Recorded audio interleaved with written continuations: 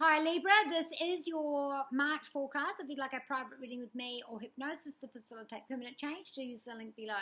All of this uh, month, you are looking at what your day looks like. So, your schedule, your day to day things, uh, who you take care of, your own health, uh, and your work critical skills as well. And the only place this month where you do have some challenges is with your finances. So, you might find that you're ill this week, uh, this month, so that, or, or someone you look after is. You might find that work is a bit uh, tiresome, a bit challenging, a bit stressful, uh, because the Nine of Wands is saying, Look, I'm trying really hard to get what needs to be done. I'm trying to expand. I'm trying to meet all of my deadlines.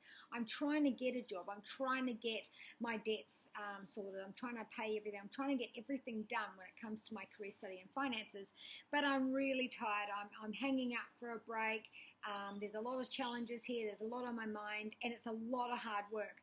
So it's um, saying that you're determined to get to that finish. You're working really hard. You might be a bit stressed, um, but you've got things already done behind you. So you do have those um, that work completed. You do have uh, the qualifications. You do have all your ducks in a row. It's just it's taking a lot of uh, time and stress for you, and um, battle worn. So maybe you're just completing something or nearly at the end of something, and you're looking at it and saying, "Oh, thank God that's finished."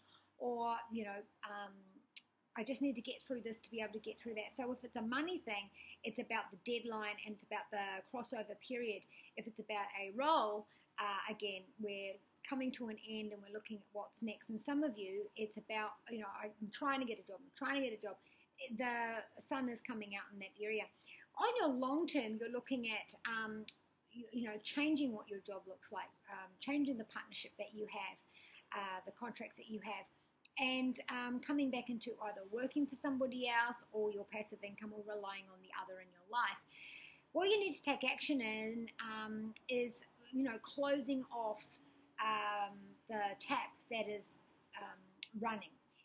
Any loopholes, any areas that uh, are spending more than they're bringing in and what your home life looks like. There needs to be some new structures put in place. If this is about debt, then it's about uh, a budget, um, who pays what, the share, the lion share, all of those areas. When it comes to your home, you do have something to celebrate, something to raise your classes to. So, again, if this is coming to an end or it's been a long haul and you finally got there, whatever it is there, you could be celebrating that at home.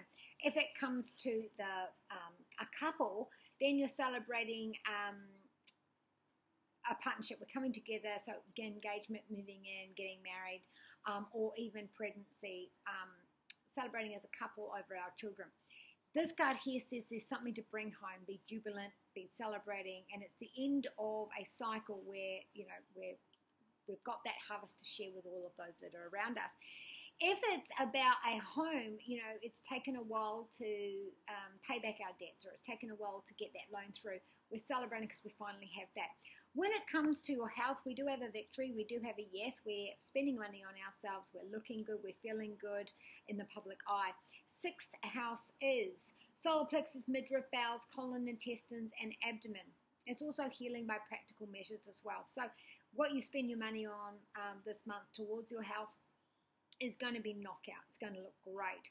Uh, when it comes to your love, major arcana card. So this is settling down with or meeting someone. Now this is Aries, uh, Sagittarius, or Leo. Um, something's blossoming. Something uh, with abundance. Something with a um, fruitful, um, a fruitful partnership. We're also looking at this card as um, being more relaxed about the relationship that we're in. So this is long-term couples feeling feeling good. We're celebrating, feeling like we have abundance. If this is um, single and looking, being feeling really good about what your options are out there, feeling very relaxed about it. Now the cards, do watch your sun, moon, and rising because I got these cards for other signs as well. So Crystal says, look, what's just over the hill you can't see it yet. Keep the faith. I know it's there. You don't have the faith right now, but keep it because it is going to be there. Sonia is a loved one that has passed that's helping you um, at the end of your cycles. This card says you are at the end of a cycle in life. Call upon your angels to comfort you and to guide you to your next step. Happiness awaits you now.